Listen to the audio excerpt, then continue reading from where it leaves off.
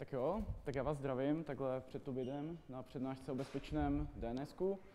Řekneme si, jak ho používat eh, doma ve své síti a zároveň i na cestách ve svých eh, mobilních zařízeních. Eh, krátce o mě, já dělám administrátora v Redam Pajo, což je společnost tady v Brně, která se zabývá vývojem softwaru, pro, softwaru a řešení pro cybersecurity. A co se týče přímo mě, tak já mám velký koníček v kyberbezpečnosti, mám vystudovaný počítačové sítě, trošku fušu do IoT a hodně mě baví to celé propojit s nějakým soukromým na internetu. Kdyby mě někdo chtěl kontaktovat po tohle přednášce nebo něco probrat, tak na stránce, která je uvedena, tak tam jsou kontakty vše možný na mě. To je takový ten trapný úvod. Co je to DNS? Vím, že včera tady už přednáška jedna byla. Víceméně DNS je takový ten pilíř internetu, který používáme denodenně.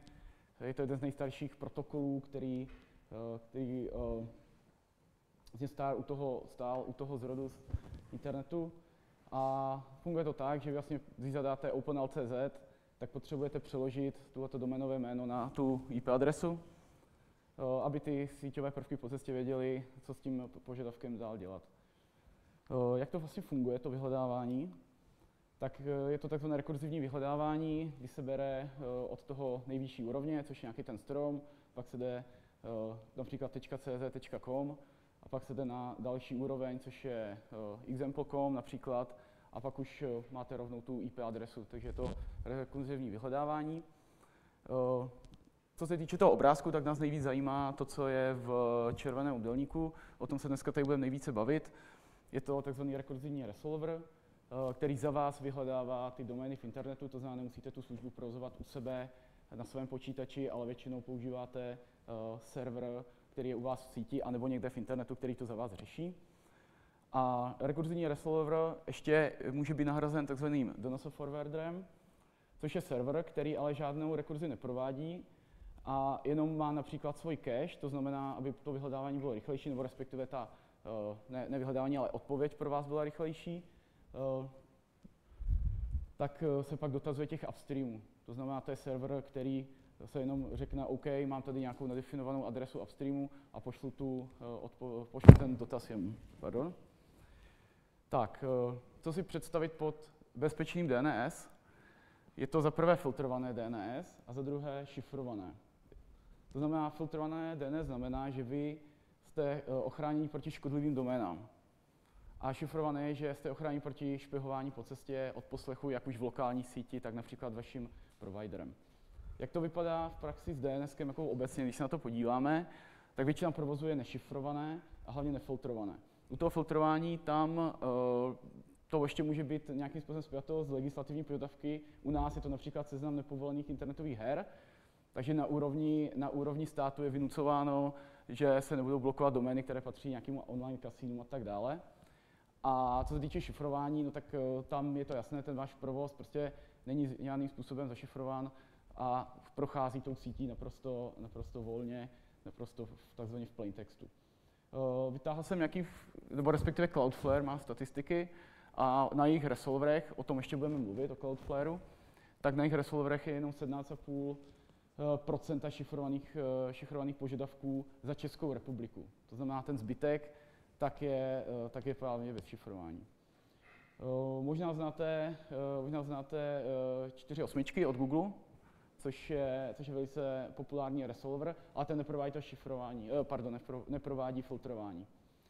Eh, doma, když máte přípojku, většinou nějaký ten router, tak tam dostáváte automatickou konfiguraci od svého eh, poskytovatele a ten vám opět poskytuje IP adresy DNS serverů, ale zase neřeší tam to filtrování a už vůbec neřeší, neřeší šifrování.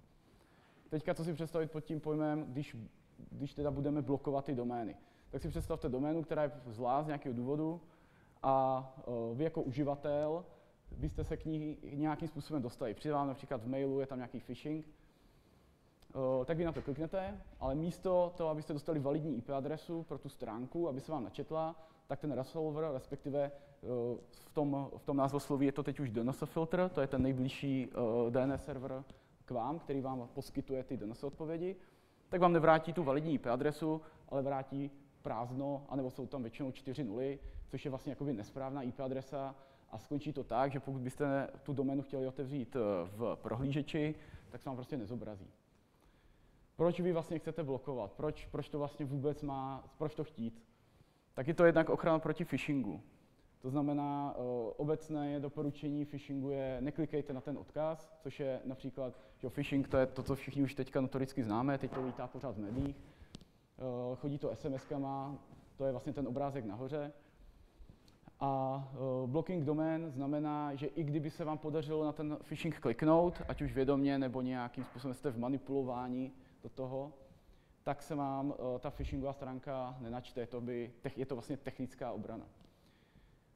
Dále malware, to znamená, když vy bloknete doménu, která patří do nějakého malwareové infrastruktury nebo do nějakého botnetu, tak opět je dost nějaká, řekněme, početná uh, pravděpodobnost, že, ten, uh, že tam uh, vlastně ten, ten škodlivý malware se u vás neprojeví. To znamená, nejdojde k tomu, nejdojde k tomu, k té infikaci. Například WannaCry, což byl ransomware v roce 2017, tak tam zjistili ve zdrojovém kódu, že když si zaregistrovali ti, ti výzkumníci doménu, která tam byla uvedena, tak ten, tak ten ransomware se zastavil, protože to fungovalo jako kill switch. Třetí, třetí věc, proč to chtít, je nějaká ochrana soukromí, kterou už tak nějak jakoby víceméně se o tom víc mluví, více je vyžadována, protože opět všechny uh, reklamní kampaně fungují na doménách. Jo? Reklama se vám načítá z domén, když vás ten, ta stránka trackuje, to znamená vyhodnocuje, tak opět je to všechno postaveno, ta infrastruktura je na doménách. A v neposlední řadě telemetrika, například ze Smart TV, opět se teďka o tom hodně mluví, že Smart TV posílají uh, informace o tom, které, který obsah sledujete, který konzumujete.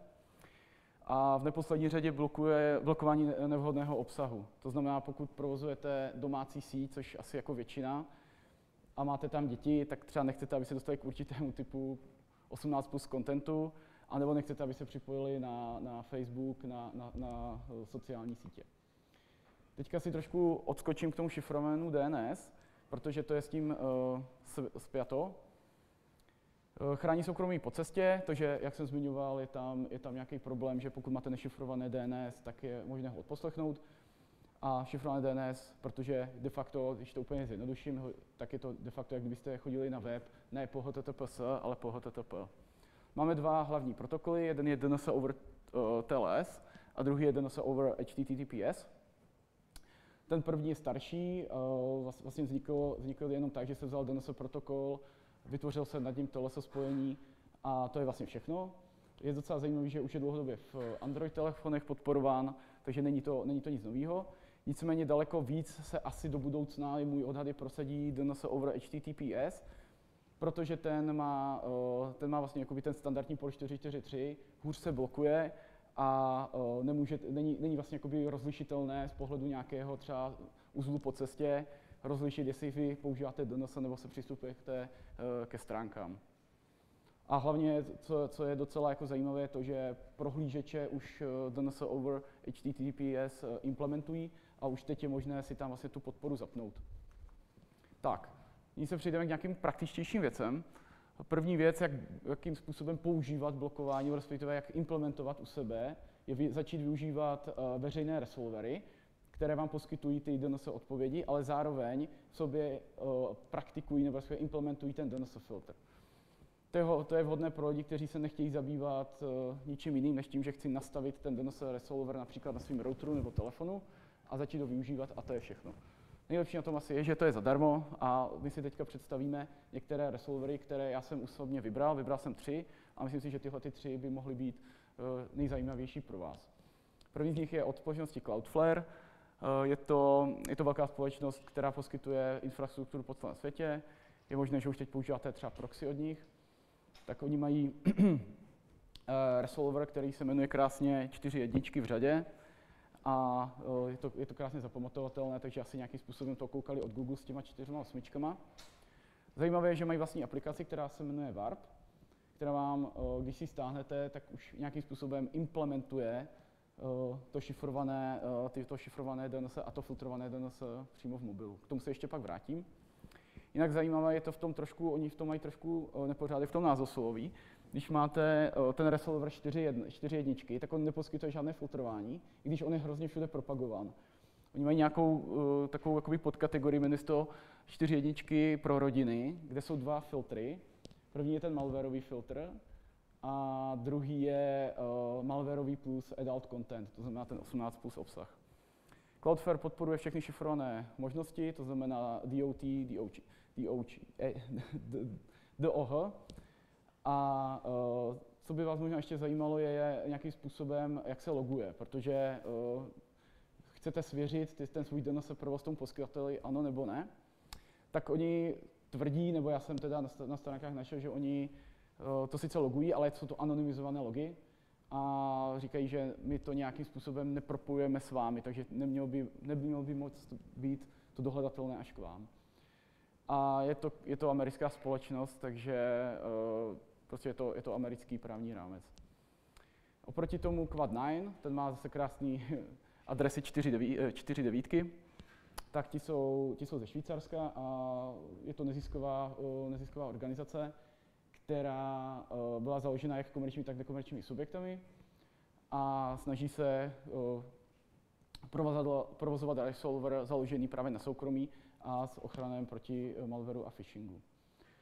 Uh, oni mají také aplikaci Quantenite Connect, ale ta se mi nepodařila dohledat ve storu z nějakého důvodu, nevím, jestli třeba chystají novou verzi a tu starou uh, odstranili.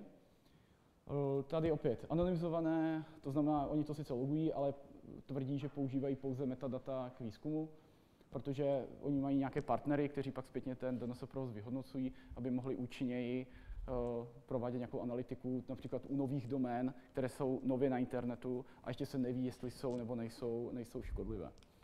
Tak a třetí resolver, který vám představím, je eh, dnszero.eu a to je právě DNS, eh, DNS resolver, který byl založený jako čistě evropský resolver, aby, aby lidé přešli například od těch eh, resolverů od Google nebo od Cloudflareu. Snaží se být 100% kompatibilní s EU legislativou, takže oni vám říkají, OK, servery jsou jenom, jenom v EU, dokonce oni tvrdí, že v každé zemi mají jeden, takže uh, i ta latence těch požadavků by měla být celkem, celkem nízká. Uh, nemají ta svoji aplikaci, ale nabízí dvě různé varianty. První říkají Zero, což je, já tomu říkám hardcore blokování. Oni tvrdí, že to je pro, sítě, pro sítě s vysoce citlivým prostředím. Nevím, co si pod tím představit. Asi řekněme, pokud máte třeba nějakou, nějaký úřad nebo nějakou nemocnici, tak tam asi chcete ještě nějakým způsobem být výš. A ta varianta Kids, tak tam oni, oni vlastně blokují úplně všechno, co by potenciálně mohlo být škodlivé pro děti, takže ať je to od 18 eh, plus stránek, je tam dokonce seznamky, YouTube, je to prostě všechno úplně.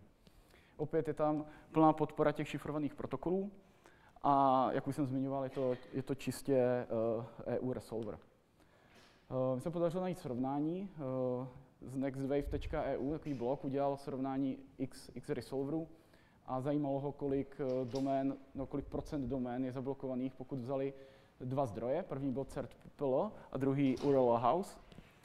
Oni, oni udělali eh, seznam 200 tisíc eh, škodlivých domén a prohnali to těma resolverama. A já jsem vybral, no, zajímalo mě, jak dopadly ty moje, moje tři vybrané. A nejlepší na tom je, že teda DNS Zero a Quad9 dopadly velice dobře, ale úplně propadl Cloudflare, což mi teda překvapilo. Bohužel jsem neměl čas to celé zreplikovat ten test. Oni mají na stránkách uh, uvedenou tu metodologii, takže kdyby to někoho zajímalo, mají tam i přímo, přímo skripty, je to, je to všechno zveřejněné. Uh, nedokážu si to úplně vysvětlit, protože Cloudflare má tak nízké procento blok, blokování. Uh, na druhou stranu Cloudflare je velice, velice rychlý, takže jestli je tam nějaký, nějakým způsobem něco za něco. Tak tady jenom takový, takový přiblížení, jak to vlastně funguje, jak se z nějaké nové domény stane ta škodlivá, nebo kdo to určí a jak se to určí tak většinou je nějaká phishingová kampaň. Například toto je nejnovější, nebo nejnovější, jeden z posledních uh, příspěvků na Nukibu, že byla phishingová kampaň, která zneužívala uh, domény, které se tvářily jako například stránky ministerstva zemědělství, ministerstva zahraničí a tak dále. A v rámci těchto zpráv od různých partnerů jsou většinou zveřejněné domény, které se následně poskytnou bezpečnostní komunitě a ta je vypropaguje dál a poskytne je i samozřejmě i těm resolverům. Takže tady třeba ta doména nuki.gov.cloud, která zcela evidentně napodobuje stránky, nebo se snaží napodobovat stránky Nukibu, tak se, tak se ještě ten týž den, kdy já jsem se koukal, tak to bylo toho 24. října, se ještě ten týden dostala do těch resolverů. Takže ta reakční doba, jak Cloudflareu, tak Zero DNS, tak uh, Cloud9 byla velice rychlá. Tak, teďka přejdeme ještě k víc praktičnějším věcem. Toto je nastavení, kterému říkám já cesta nejmenšího odporu. To znamená, když si, když si najdete na stránkách těch resolverů, jaké používají IP adresy, tak nejjednodušší je prostě vzít a nakopírovat je do nastavení na vašem routeru. Jo, to je, většinou ty routery to tam mají někde skryté pod nastavením uh, v rámci uh, lokální sítě. Je to jednoduché, protože de facto máte za minutu ani nevyřešeno. Nevýhoda toho je, že tím nemáte žádné šifrování. To znamená, vy používáte tu nešifrovanou variantu a ty starší routery nebo obecně routery nemají moc, nemají moc podporu těch novějších šifrovaných, šifrovaných protokolů. Co je ale daleko zajímavější je mít nastavení těch resolverů na tom koncovém zařízení, to znamená na tom, na tom například mobilu, co máme všichni v kapse. To znamená, vy si vytvoříte to šifrované a zároveň filtrované spojení už z toho koncového zařízení. Eh, Android i iOS tak tomu jdou naproti, ať už tím, že ti poskytovatele těch resolverů vám, vám dají vlastně aplikaci. To je například nahoře je eh, aplikace Warp od Cloudflare.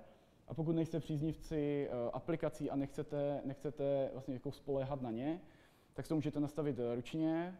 V Androidu se ta funkce jmenuje privátní DNS, což je de facto převlečené DOT, a ta konfigurace je velice jednoduchá, tam prostě napíšete ten, ten hostname toho resolveru a to je všechno.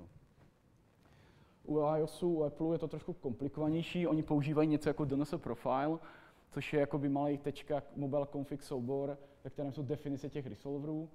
Vy si, vy si ten soubor můžete vytvořit online, anebo pokud jako to nechcete řešit, tak prostě přijete na stránky toho resolveru, třeba Cloud9 to má krásně v, popsané v dokumentaci, a stáhnete si podepsaný soubor, který pak jenom nahrajete do toho zařízení, otevřete a to nastavení se vám vypropaguje. Co se týče osobních počítačů, tak eh, Windows 11 už přišli s tou podporou pro ty šifrované protokoly.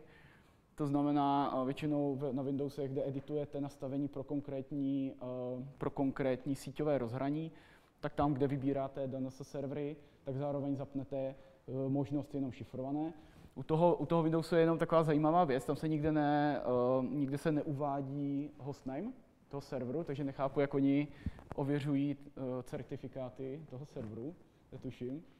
Oproti tomu Linux to má uh, vlastně v konfiguraci velice podobně, akorát oni už tam mají vyloženě uh, definici toho hostnameu, takže se udělá klasický uh, ověření pomocí, uh, pomocí uh, certifikátu vydaného veřejnou certifikační autoritou. Teď možná přemýšlíte, jaké jsou ta výhody a nevýhody toho si to na tom mobilu zapnout. Tak eh, výhody jsem zmiňoval, je to to šifrované spojení. A vy, jakmile to nastavíte, tak s tím prostě s tím mobilem můžete jít kamkoliv, doma, kavárna, práce a všude, všude, budete mít, všude budete mít to soukromé a zároveň šifrované DNS. Potenciální nevýhoda je, že eh, v té firmní síti vám nebudou fungovat ty interní prostředky, protože uh, se například spolehá na nějakou lokální doménu. Takže to samozřejmě nebude fungovat, protože vy ten uh, resolving provádíte na, na serveru v internetu a ne, a ne v té lokální síti. A co se týče ještě takových těch captive portálů, to znamená, vy se někam připojíte, teď na vás vyskočí, jo, musíte odsouhlasit tyhle ty podmínky používání té místní lokální sítě. Uh, tak to s tím DNSkem taky občas tam se dějí takové různé jako uh, čachry machry a to taky nemusí fungovat vždy. Tak, přicházíme k druhé možnosti, jak tohle řešit. A to je něco, co je asi tady na téhle konferenci hodně, hodně známé, a to je Raspberry Pi, na kterém si můžete rozběhat uh, uh, vlastní, vlastní dvě služby, o které bude, bude za chvilku řeč. A samozřejmě přináší to sebou nějakou jakoby, investici jako časovou, uh, samozřejmě musíte se o ten hardware starat, samozřejmě nemusí to být jenom Raspberry Pi, může to být jakékoliv jiné, jiné zařízení, anebo jakýkoliv jako virtuální server nebo server u vás doma. Samozřejmě největší výhoda je toho, že to je plně pod vaší kontrolou a vy si sami určujete, co se bude blokovat a co ne. Z nejznámější z těch projektů je Pi-hole, což je síťový, síťový filtr, který byl založen v roce 2014, je to pod svobodnou licencí. Oni tomu říkají vyloženě sinkhole, protože to vzniklo, eh, že oni chtěli eh, nějaké řešení, které de facto se, kterého se zbavíte všech reklam na síti, takže proto je tam to slovo sinkhole. Eh, co se týče technologického steku, tak eh, Je to takové trošku postarší, je tam třeba PHP, je tam DNS Mask server, který už taky není úplně nejnovější. Nicméně obecně Pi-hole je něco, co má nízké nároky na, na výpočetní zdroje, protože to bylo určeno pro, té, pro, tedy pro Raspberry. Začali podporovat i Docker Image, takže jestli máte rádi vlastně nasazování kontejnerů ve vaší síti nebo obecně nasazování kontejnerů, tak je to velice jednoduché. A díky tomu, že, se, že, jsou tam, že je tam ta podpora toho Dockeru, tak to nasadíte třeba i na nějakým NASku a bude vám to taky fungovat.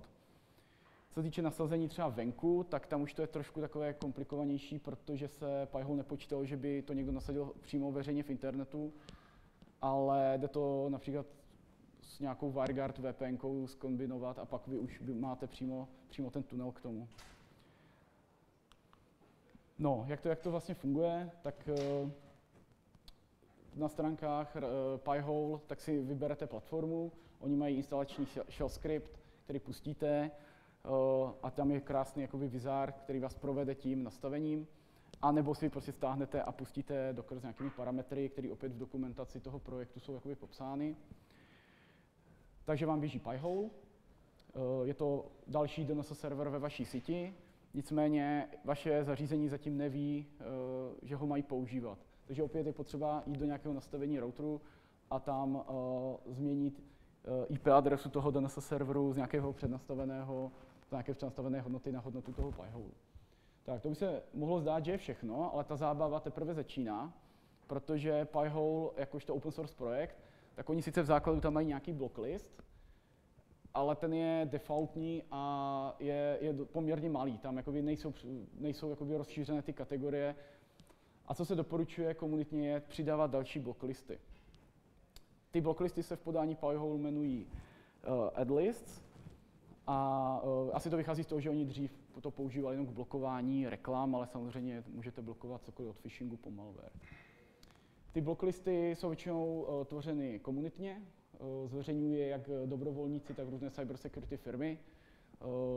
Tím, že vlastně do té komunity přispívají obě dvě strany, tak se benefitují všichni. A co jsou takové kritéria pro vhodný blocklist, tak samozřejmě potřebujete vědět, co budete blokovat. To znamená, jestli budete blokovat reklamy nebo například phishing, jak často je ten blocklist aktualizován a aby se samozřejmě ten blocklist byl nějakým způsobem uh, v tom vhodném formátu pro Pi-hole. A odkud se ty domény berou. Tak, takhle to nějak vypadá.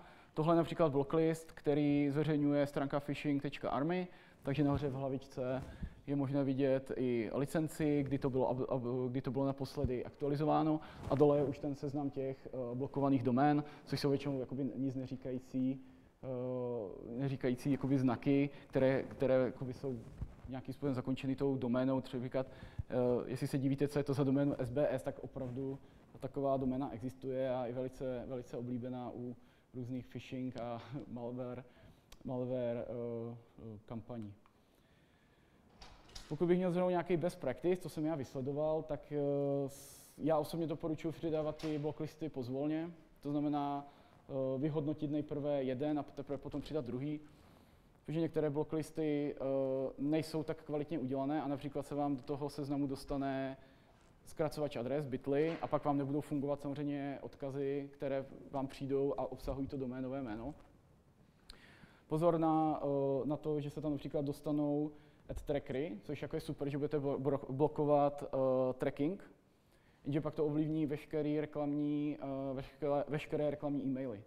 Jo, to znamená, například máte doménu obchod.cz, jenže oni provozují trackovací subdoménu tracking.obchod.cz a vy si, vy si vlastně bloknete a pak se neprokliknete z těch mailů, kdyby náhodou jste chtěli nějakou super jejich nabídku, která vám přišla jako vám jenom do toho, do toho mailu.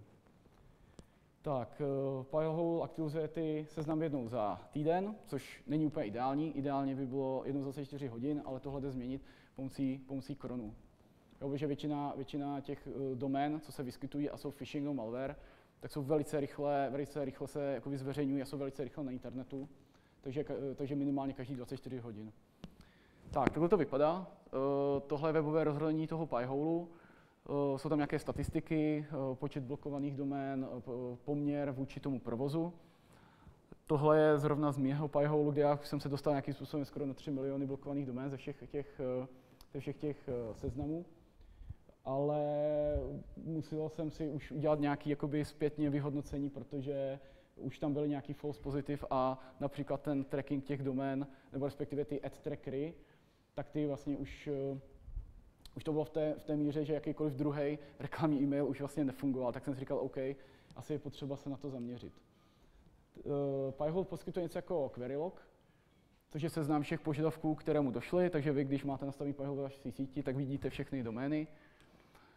Takhle vypadá zpráva blocklistů, je to velice jednoduché, tam dáte adresu a k tomu komentář. Tak, Pi-hole neumí sám rekurzivně vyhledávat, takže potřebujete nějaký upstream server. On standardně tam je Quad9, to znamená, je tam ještě víc filtrování jak na Pi-hole, tak na tom Quad9. A můžete si rozběhat klidně v lokální server Unbound a Pi-hole nasměrovat na ten, takže když nechcete používat žádný resolver někde, někde v internetu, tak si zvolíte vlastní řešení. Uh, problém Pi-hole je, že on neumožňuje u těch upstream serverů zvolit šifrovanou variantu. Jo? Tohle, tohle je jedna z těch hlavních nevýhod. Tak, druhý, druhý, uh, druhá možnost, jakým způsobem to implementovat u sebe na svém hardwareu, tak je Edgard Home, což je jakoby novější projekt, uh, má modernější technologický stack, ale to nasazení je velice podobné, takže je tam nějaký zase shell instalátor, uh, mají Docker image. A velká výhoda tohohle řešení je, že už podporuje ty šifrované protokoly, jak pro to webové rozhraní, tak ty pro ty klienty. A proto se hodí například, pokud chcete si to nasadit někde venku na nějaké VPSC a pak ty klienty nasměřovat uh, na tento server. A navíc umí lokálně, lokální zónu. Takže pokud si to rozběháte doma a chcete mít nějaký .home, .internal, tak uh, na tomhletom, na tomhletom řešení to jde, to jde nastavit. To rozhraní webové je velice podobné. Uh, zase nějaké statistiky, můžete si dokonce rozkliknout pro každé to zařízení, které požadavky tou sítí prošly což samozřejmě je nějakým způsobem hypotetický zásah do soukromí, protože vy vidíte všechny, všechny požadavky na té síti, ale tak řekněme, že vy jste administrátor toho serveru a ten to uvidí vždycky. Tak, QueryLog vypadá velice podobně. Eh, tady je to trošku podrobnější, že oni vám ještě ukazují, tam třeba ta první doména, jak byla zablokována, tak oni vám přímo řeknou, z kterého, eh, který ten blocklist to má na svědomí, takže to se jmenuje Telemetry Windows. Takže je to nějaká telemetrie, kterou posílají například Windows, eh, Windows zařízení v síti. Zpráva blocklistu je velice podobná, opět vy vezmete, jakoby se, vezmete odkaz, on vám to tady jakoby řekne nějaké podrobnosti, kdy to bylo aktualizováno, kolik je tam domén. Eh, opět, eh, ten Edgard Home neumí sám resolvovat, takže potřebujete nějaký upstream. A velká výhoda je, že tady už můžete použít šifrované DNS, ten eh, záznam, nebo respektive jak to, ten zápis vypadá takhle. Takže je to použití DNS over HTTPS, to je na tom ukázce, ukázce dole. A velká výhoda je, že můžete kombinovat víc resolverů, můžete tam dát víc, eh, víc serverů od různých poskytovatelů a Edgar Home, on si neustále měří ten čas k tomu serveru a sám vyhodnocuje, který je nejrychlejší. Takže on vlastně ty, ty domény bude vždycky posílat nej, na ten nejvýhodnější server, který je k vám nejblíž. A velká výhoda je, že v Edgar Home už máte nějakým způsobem takhle seznam uh, všech možných uh, přednastavených uh, filtrů, takže to nemusíte zhánět po všech čertech někde na internetu, ale prostě rozkliknete si to nastavení a tam vidím uh, prostě nějakou záložku nebo respektive kategorii General, do, oni vám popíšou, co zhruba těch, eh, v těch seznamech se blokuje za domény a to si můžete přidat. Stejně tak můžete přidávat whitelisty, což jsou většinou jakoby domény, které stoprocentně nejsou, nejsou phishing, ale uh, ty si musíte už sehnat sami. Tak, uh, tady jenom takový přehled, uh, pro které to řešení se, ke kterému já bych se spíš klanil, tak je to první, to Edgar Home, kdybych to vlastně nasazoval teď, tak rozhodně bych, bych eh, upřednostnil mít to šifrované spojení eh, jak pro ty klienty, tak eh, do, do internetu. Tak a třetí, třetí řešení je, řekněme, takové spojení těch předcházejících. Víceméně, pokud si nechcete sami provozovat Pi-hole ani Edgar Home, tak to svěříte takzvaně cloudu, že jo? to je jedna nejjednodušší. a uh, víceméně máte ty stejné funkce, jak, jak jsme si zmiňovali, akorát prostě to neprovozujete doma, je to u nějakého poskytovatele, kterému samozřejmě musíte zaplatit, je tam potřeba nějaká, nějaká základní konfigurace, ale za to dostáváte docela jako zajímavé, zajímavé benefity.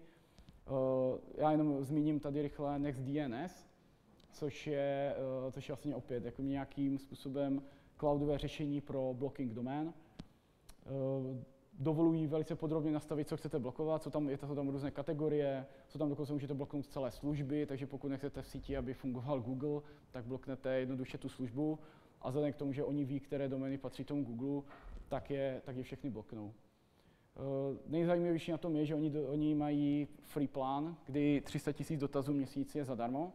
Já jsem to tak nějak spočítal, že to by mohlo vystačit tak pro 5 až 6 zařízení, kdy vy vlastně nemusíte vůbec nic platit a dostáváte, uh, dostáváte uh, tu, všechny ty funkce, všechny ty funkce té, toho, té služby.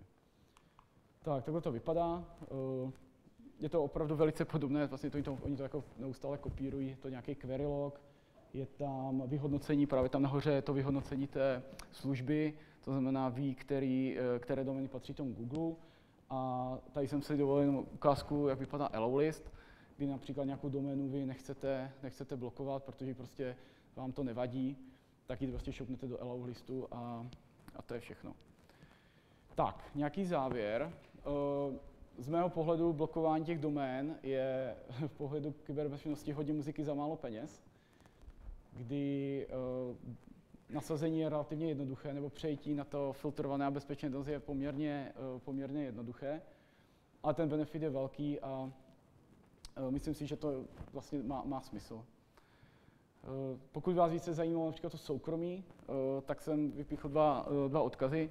Uh, DNS Privacy projekt je vyložený projekt, který se tomu celému věnuje. Oni mají na stránkách uh, zdokumentované ještě i další řešení, než jen ty, co zmiňoval, a hlavně oni tam, oni tam velice dobře popisují i třeba ty protokoly, které zvolit a dělají tam vyhodnocení uh, resolverů z pohledu, z pohledu právě privacy, protože nechcete asi úplně používat resolver, u kterého není jasné, co s těma logama pak dělá, a naopak se chcete zaměřit na to, kde je transparentně uvedeno, kde co se s tím vlastně děje. Tak a to je na závěr všechno a dovolil jsem si, jelikož u DNS vždycky je potřeba zakončit to nějak, nebo respektive v prezentaci je potřeba to nějakým způsobem zakončit eh, básní, tak tohle je básně o DNS. A představil jsem si, že eh, když je nějaký kyberbezpečnostní incident a pak se tam slezou ti administrátoři a říkají si, pane bože, co se zase stalo, a kdo za to může, tak vždycky za to může DNS. A to je za mě všechno. Děkuji za pozornost a pokud někdo máte nějaký, nějaký připomínky, tak samozřejmě jo. Na některých těch slidech jste měl kromě DLT a DLH i DOQ. Jo. Uh, DOQ, to jsem záměrně vynechal, protože jsem nechtěl úplně tady zatěžovat uh, novými, novými technologiemi, nebo respektive to je úplně nový protokol, to je DNS over Quick. A to je budoucnost, řekněme, jakoby poměru řekněme, je to, je, to, je to rychlý protokol postavený nad UDP, takže on vlastně uh, by měl nějakým způsobem nahradit uh, DNS over HTTPS. Mám takový dotaz. Vy jste uváděl velkou řadu blocklistů a takový ty větší resolvery, včetně Unboundu, mm-hmm. Bindu a Knot resolveru, umí podstatě filtrovat pomocí RPZ zón. Akorát, co já vím, tak v podstatě je poměrně velký problém ty zdrojové data jako nějaký užitečný filtry sehnat v tom RPZ zón, abych nemusel použít p-hole v obyčejném textáku. Eh, hledal jsem špatně, je to někde, je nějaký zdroj eh, těch eh, RPZ jako v podstatě pro profi nasazení, dejme tomu ve větších sítích a tak? Dá se to sehnat zdarma, nebo se za to platit já, musí vždy? Já si myslím, že se to právě sehnat nedá, protože uh, ty RPZ, uh, eh, RPZ zóny a to, co vy jste uvedl, tak to už je takový vyšší dívčí právě. Uh, ano, ano, to je jenom jiný formát, to je vlastně jakoby jiný formát, ale když teďka jako z hlavy přemýšlím, tak uh, asi nebude problém udělat nějaký agregátor těch blocklistů a z nich si vyexportovat tu RPZ zónu pro svůj, pro svůj vlastně DNS server. Jo, takže Tam, tam jde o to, že to RPZ umožňuje jak kdyby in, inkrementální zone transfer, mm. což je vlastně efektivnější metoda, protože já si nestahuji pořád dokola celý blocklist, ale jenom to, co se od minula změnilo. Mm. A je to vlastně výrazně efektivnější, respektive může to být, ale eh, po, potom já musím mít zdroj, do kterého se to inkrementálně jenom přidalo, aby to fungovalo a to je to právě jo. jako, proč za takovou drobnost eh, v podstatě navíc já musím platit, když tyhle ty blocklisty jako jsou, ale mm. Jo. Ono, ono asi přidaná hodnota těch komerčních řešení, které, které vám poskytnou tu RPZ zónu, tak je to, že oni vezmou jako všechny ty blocklisty, nějakým způsobem z toho vyfiltrují ty úplně, úplně jako nesmysly, aby se vám tam třeba nedostal google.com a pak vám to poskytnout jako, jako službu. Takže ta přidaná hodnota je asi ta analytika ještě nad tím. Ale jako má, máte pravdu, že kdyby byl nějaký open source projekt nebo nějaký free projekt, eh, tak by to asi bylo zajímavé, ale nenašel jsem to, jak vy. Ne, nenašel jsem to, že by to někdo takhle poskytoval. Jo, tady ještě. Jo, takový spíš uživatelský dotaz, eh, nebo jako prakticky mm, možná na doma. Eh, eh, jestli některé z těch řešení, co teďka existují, tak jakoby na filtrování blocklisty a podobně, tak jestli je možný automatizovat odeslání nějaké nebezpečné URL do nějakého sandboxu a zpátky se vrátí, já nevím, třeba vyrendrovaný obrázek, jakoby mm, to jsem asi úplně teďka nepochopil. No, například ty, ty zkracovače, jo, prostě. No, no, no, jo. Ta, eh, ta experience z toho, z té pracovní stanice by měla být, že načtu nebezpečnou URL, třeba hmm. ze zkracovače, a zpátky se mi vrátí, jakoby, že to, že to eh, že ten DNS eh, middlebox prostě to přesměruje někam do sandboxu, tam se to načte, jako z internetu, a zpátky se vrátí jakoby screenshot, jo? Mm-hmm. Já vím, že třeba služba, jestli znáte Virus Total, tak dělá něco podobného. Oni vlastně agregují, oni agregují od různých threat intelligent uh, zdrojů vlastně vyho, vyhodnocení té domény. Jo. Ale vy, vy asi myslíte něco jako víc real time, předpokládám, to znamená... Jo, on demand. Tuším, ale no, jo. Aha, aha. Uh, jako asi chápu, chápu, ale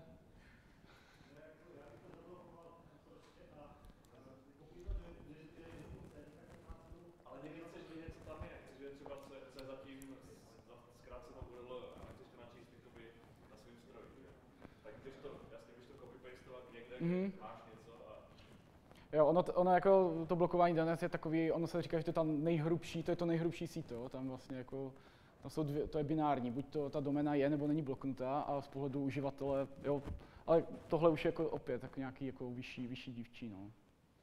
Jo, tam ještě. Můžu se zeptat, doporučil byste nějaké z těch řešení do podnikové sítě pro zaměstnance třeba? Uh, tak uh, jestli myslíte, jestli myslíte jakoby vlastní řešení nebo jeden z těch resolverů, jakoby, nebo obecně se ptáte? Jeden z těch resolverů. Tak já bych uh, osobně doporučil asi ten Quad 9, což uh, je jakoby, to je stabilní projekt, který už běží několik let. A u něho je, nebo i co já mám zkušenost, velice nízké procento false positive. To znamená, jako samé sám nestane, že by vám se na ten blocklist dostala doména, která není škodlivá. Takže jako já jako z nějakého dlouhodobého hlediska Eh, používám Quad9 a myslím si, že to jako, oni mají i dobrou infrastrukturu bezvýpadkovou. Celkem dobrou. Možná se zeptám, jak se to potom řeší, když je to false positive, nebo když chci přidat nějakou doménu třeba na to Quad9.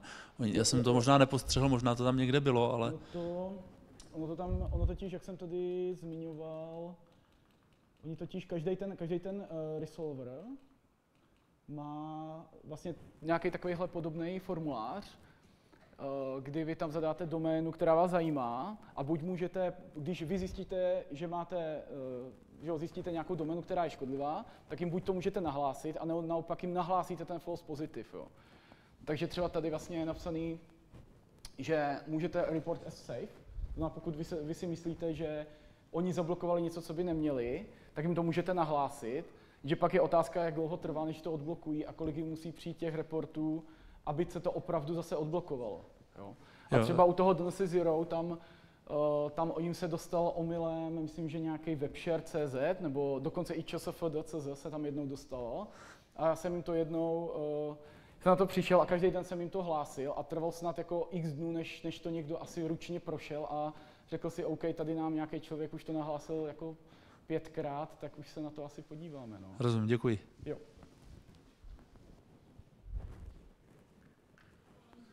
Mhm. Jo, o, tak ty, ty podle mě nefiltrují nic. Jo. jo, oni poskytují, vím, že poskytují to šifrování, že oni mají tu sadu klasický DNS over TLS, DNS over HTTPS, ale oni nic nefiltrují. No. Což, jako ono, když se na to podíváte z, z, toho, z té druhé strany, tak to je vlastně, vlastně dobře, že se nic nefiltruje. Jo, jako, jo, máte jakoby to svobodné DNS, ale je to opět jako, jako dvě strany jedné mince. Jo, že jako, já jenom, u, těch, u toho Google. No. Já jenom zopakuju pro, pro lidi, co jsou uh, živě na streamu, dotaz byl, co Resolvery od CZNICu, jestli jsem to rozuměl správně tomu dotazu.